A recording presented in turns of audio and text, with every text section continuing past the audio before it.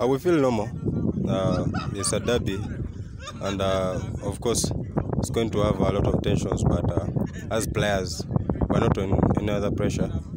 We're going to approach the game uh, the way the coaches have prepared us to make sure that uh, we achieve our target of the season. Of course, it's an important game, just like any other game uh, in the league.